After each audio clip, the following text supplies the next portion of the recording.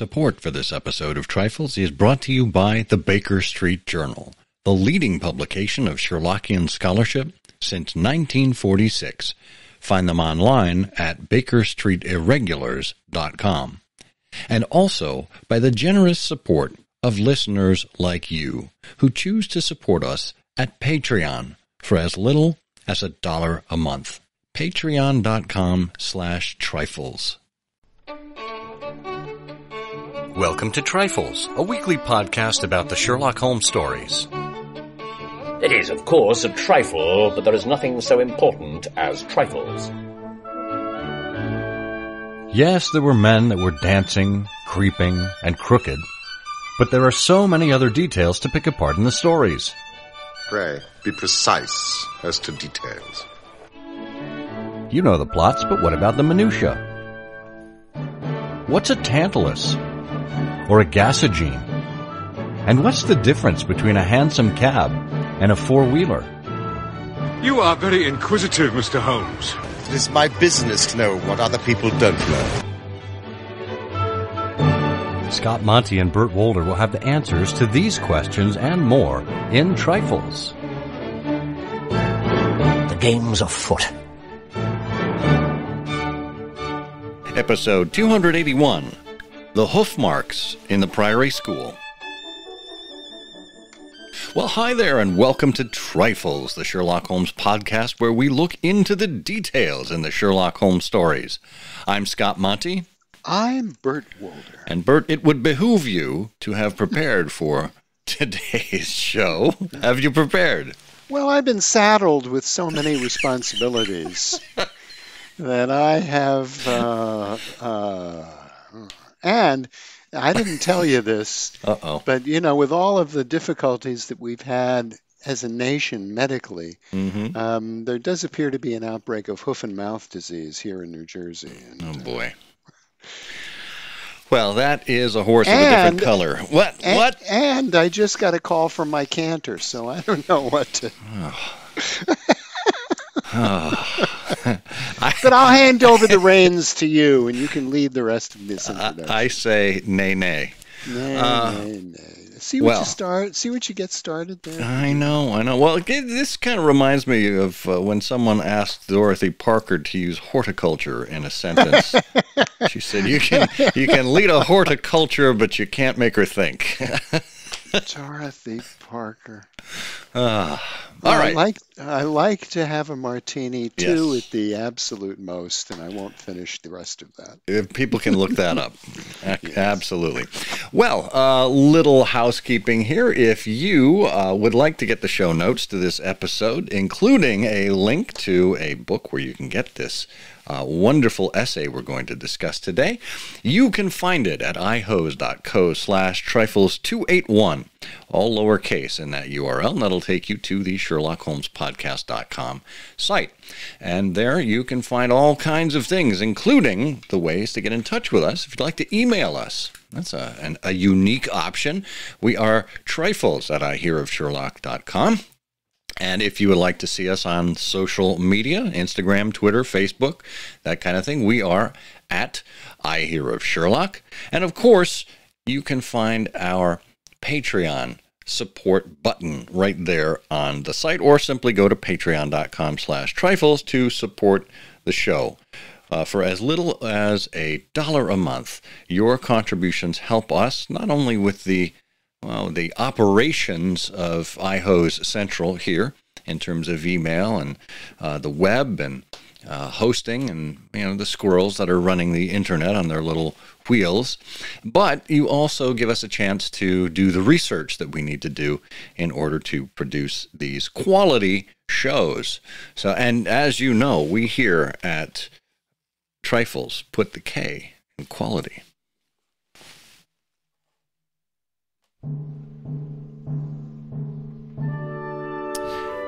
Well, this is one of those episodes we call uh, Master's Class, where we look at a piece of significant Sherlockian scholarship of yore and we bring it up to the microphone of the present. And in this case, we are selecting an entry from the book A Remarkable Mixture award winning articles from the Baker Street Journal. This is from 2007, and it is edited by Stephen Rothman, the editor of the Baker Street Journal. And these are all Morley Montgomery Award winners from uh, the very beginning of the award. If you're not aware, the Baker Street Irregulars award uh, uh, the best article of the year uh, the Morley Montgomery Award, which comes with a cash prize. So, what an incentive to get out your pencils and start writing something for the Baker Street Journal. The Morley Montgomery Award began in 1958 and it was uh, dormant for a while from uh, 1980 through 1994, it was resurrected again in 1995. And in this article, uh, this is by S. Tupper Bigelow, who is a significant Sherlockian from Canada. He was the first Canadian to win the Morley Montgomery Award. Uh, this is the hoof marks in the Priory School from Volume 12, Number 3 of the Baker Street Journal, September 1962. So, Burt, would you care to set up the premise for uh, Bigelow's article, and then we can saunter through it. Yes, but before we do that, you know, as I typically do, but I'll do this very quickly, hopefully, I just have to say the source of this article is so wonderful. You mentioned the book, of course, but its original appearance was in the Baker Street Journal, Volume 12, Number 3, September 1962. And so you mentioned earlier our research well, I checked out the EBSJ. I decided to go back to the source and look at the issue. And you know, it was the Sir Arthur Conan Doyle issue of the Baker Street Journal. It said so on the cover. And the representation of Holmes that normally features on the cover of every Baker Street Journal in those days, drawn by Freddie Steele, had been replaced by a drawing of Conan Doyle which is now, I must say, the world's best drawing of Conan Doyle. It, uh, his mustache uh, looked like two ice cream spoons that he'd been inhaling. um, but the wonderful contents of the of the issue, it had four articles, including one by Adrian, one by his son Adrian. So you could tell that Julian must have had in his mind the idea of perhaps repairing relationships with Conan Doyle's son. It had an article by Edgar, who'd passed away two years previously, about the Baker Street Irregulars, um, a memorial tribute to Edgar Smith, who was the head of the organization, by Joe Hall.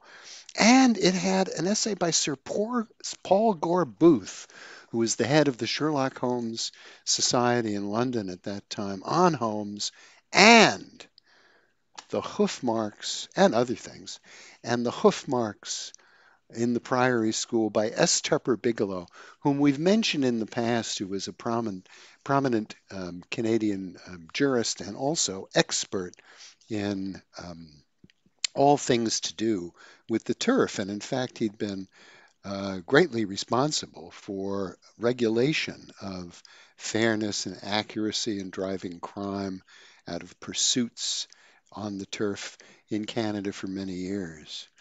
So um, that's just by way of saying that they're just wonderful things to discover if you want if you if you have this sort of cast of mind and you're interested in in what was going on in Sherlockian things in the 1960s when you go back to these sources. But to your point, the hoof marks in the Priory School begins immediately. Here's the here's the deal. Tupper Bigelow pulls up this wonderful scene really a wonderful scene from the, the Priory School where Holmes and Watson have been into the case and they've seen some evidence. And um, Holmes is talking to Watson and says, Now, Watson, make an effort. he says. Now, of course, perhaps I read too much into his tone, but he says, Now, don't, Watson. Don't, don't strain yourself. Watson, now, Watson, make an effort Throw your mind back. Can you see those tracks upon the path? And Watson says, Yes, I can. And then Holmes says, Can you recall that the tracks were sometimes like that, Watson? And he arranges a number of breadcrumbs on the table. And sometimes, uh, and, and, of course, it's a pattern, you know, and, and it's reprinted in print as a series of dots. So the tracks were sometimes like this, and then the dots change. He says, occasionally like that. He says, Can you remember that? And Watson says, No, I cannot. Go figure. but Holmes says, But I can. He says, I could swear to it. However, we will go back at our leisure and verify it. What a blind beetle I have been, you know, and we've referred to that in the past, not to draw my own conclusion.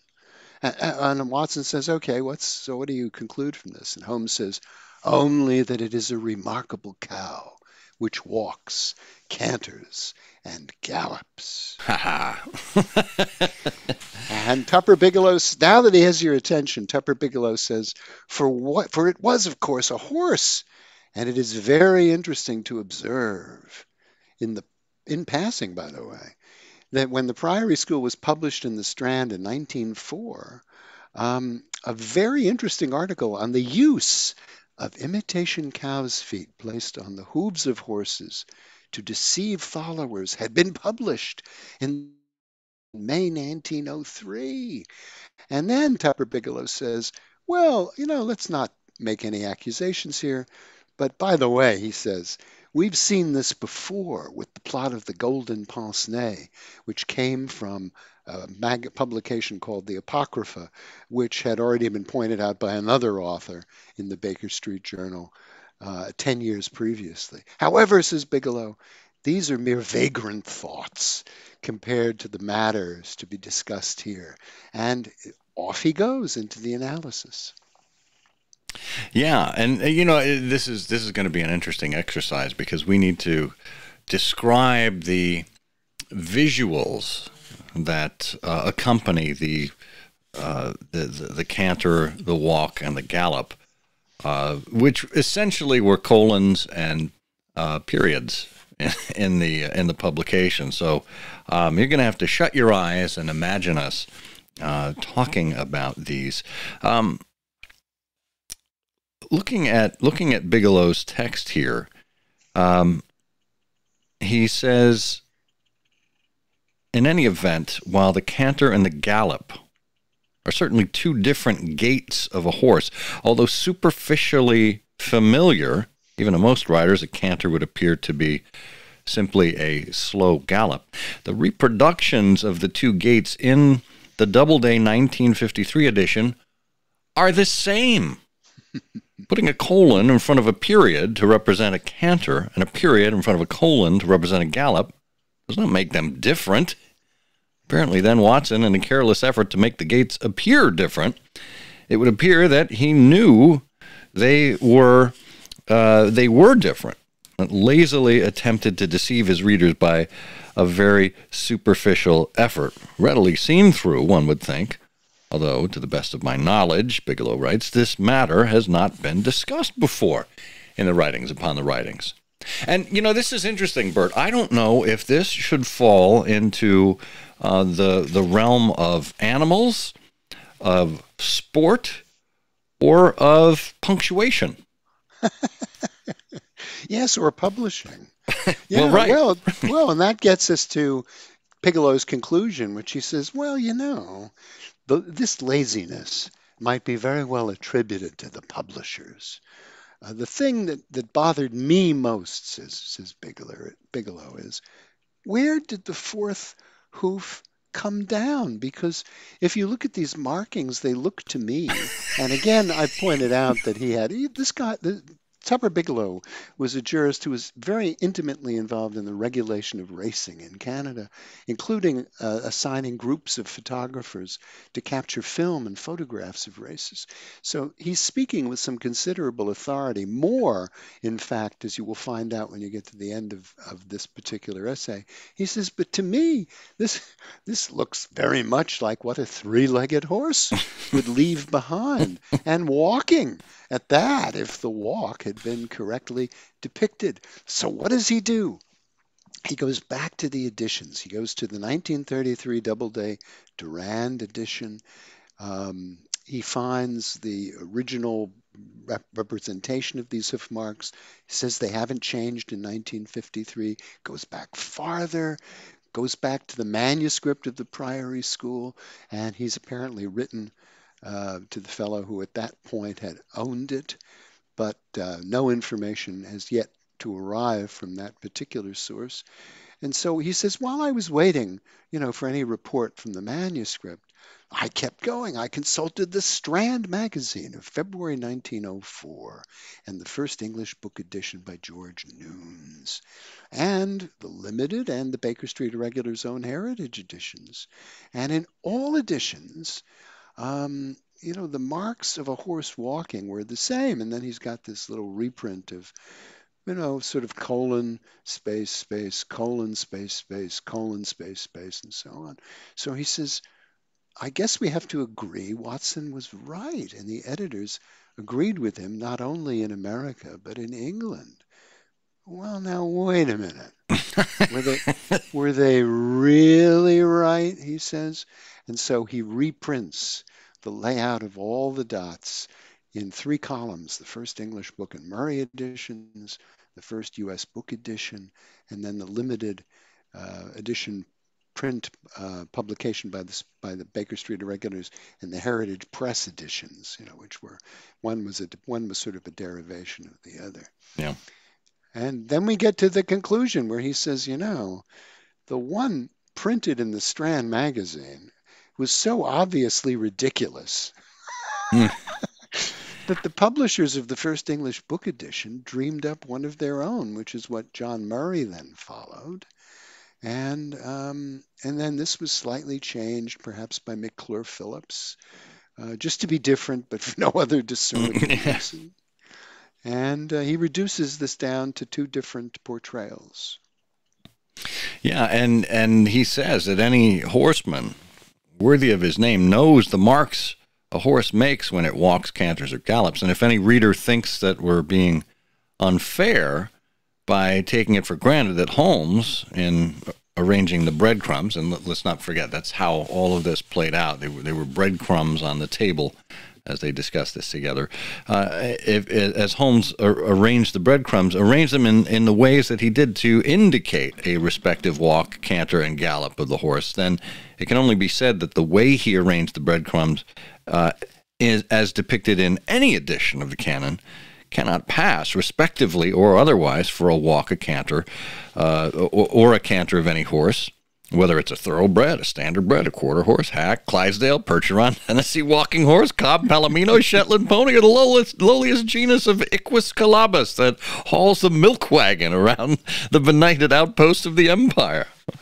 The Such gate, as Toronto, Canada. well, right, of course, uh, from from our, our friend um, uh, Tupper Bigelow. He he says the gait of all horses is the same for a walk, a canter, and a gallop. But of course, differing slightly as human beings differ from the norm or average. Even a mule's gaits are the same as a horse's.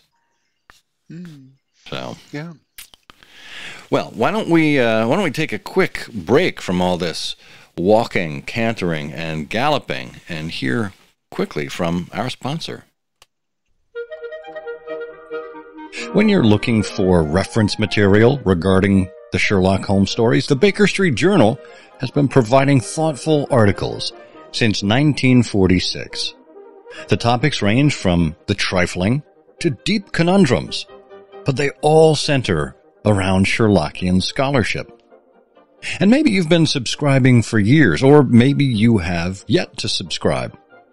But there's one resource that can make your research easier to do. The EBSJ. The EBSJ is an electronic copy of all the back issues of the Baker Street Journal from its inception in 1946 through 2011 in PDF format. That's 276 issues with more than 18,000 pages, spanning the old series to the new series, the Christmas annuals, all the way through 2011. It's entirely searchable, so you can find what you need in just seconds. Check out the EBSJ on BakerStreetIrregulars.com today.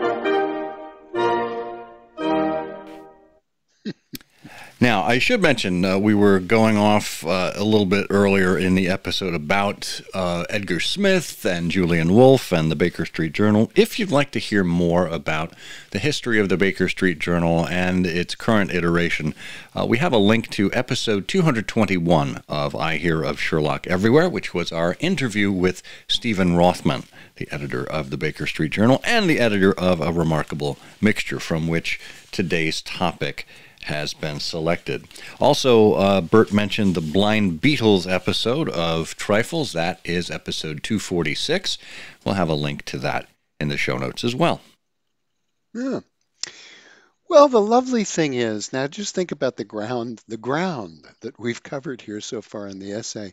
You know, you would think we've dug into this pretty deeply, but no, no, no. Tupper Bigelow is about to really get off to the races. He says, you know, his last observation here is even for a, even a mule's gaits are the same as a horse's. And he says, um, you know, from my experience, the look, he says the walk of a horse can be observed by anyone on the racing strip of a racetrack, and each hind hoof will make a mark a matter of a few inches behind the mark the forehoof makes. And actually, what go, what's going on here, he says, is the mark of the hind hoof superimposes itself.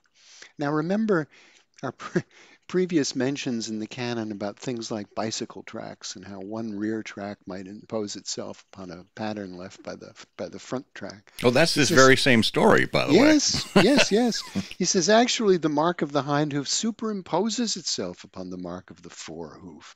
And if I were going to do this in dots, he says the marks would look something like this. So he has two dots, one side by side to the other, and then some distance below, exactly the same thing, two dots side by side from the other. And then a big gap, you know, if you were putting this on a piece of paper about an inch, inch and a half, and then another pair of two dots and two dots, and then another inch and a half and two dots and two dots. Interesting here, he says. Now look, although it's just a matter of an inch or two between these double dots, this distance is really about three feet. So this dots, all this stuff with dots, he says, isn't according to scale or even close, but it's probably about as well as you can do because the page, you know, is only about five and a half inches wide.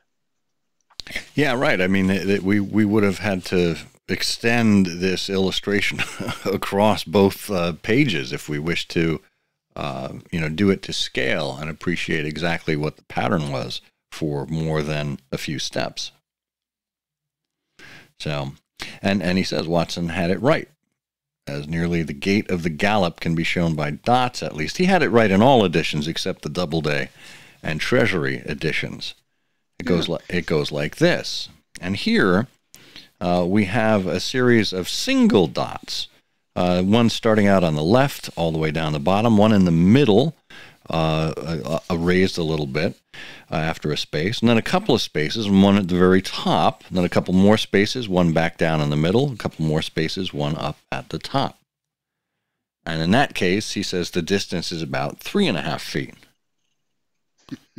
oh, and and he goes on to observe that uh, it's it's remarkable that Watson's errors in depicting the walk and the canter of the horse were wrong in view of the fact that both Watson and his literary agent had seen action in wars of the times in which they lived, and particularly when on the manuals of scouting mentioned in the bibliography were available to them on active service, or to some of their counterparts at least.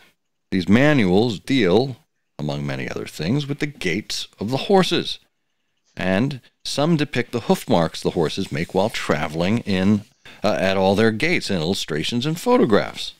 The others describe them, and all agree. Yeah, really is really is wonderful. And uh, even before he gets to this point, Tupper Bigelow says, you know, horses are just like human beings. They get tired. Sometimes you start out on your right foot, and sometimes you start out on your left foot. Sometimes you change. But in any case, he's pointing to the fact that both Watson and his literary agent had seen military action. Watson, in Afghanistan, where, by the way, one of his brother officers was Adam Baden Powell, who founded the Boy Scouts and mm. who had uh, issued more guidelines and manuals about observing tracks. And Baden Powell was also in Afghanistan, celebrated for his defense of Mafeking in the Boer War, and he certainly should have famili- been familiar to Conan Doyle and so on. But um, Tupper Bigelow ends all this. You know, you would just think we've covered this for every possible angle and looked at all sorts of resources by someone who's speaking to us with intimate knowledge of the track and horses. He says, By the way, I had some help here. I had some help by a member of the Ontario, from the member of the Ontario Racing Commission, and a one time cavalry officer who also is a scouting instructor, Brigadier C.S. McKee, CBE.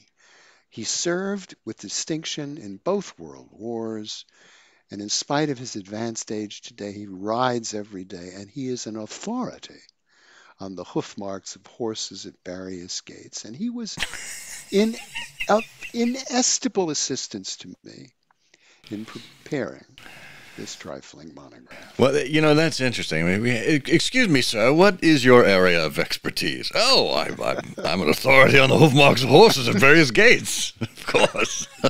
can, uh, can, can you imagine, you know, Tupper Bigelow dialing up the brigadier and saying, look, if you've got some time, I should like to pay you a call at luncheon next week and we could discuss a Sherlock Holmes case.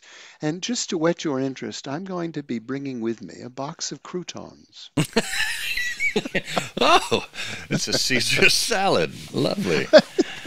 Oh, and you know the here's here's one of the most interesting things to me because you know you you you write a paper like this, you you you do all your research, you you assemble it, and then you submit it for uh, publication. Well, there's an afterword here where it seems that uh, Mr. Bigelow is updating us in real time. He says, and and by now, uh, and this is after the bibliography, and by now I've heard from Lee Block, who who is the owner of the manuscript, who reports that the dots in the manuscript of the Priory School are precisely as they were reproduced in the Strand, which is to be expected.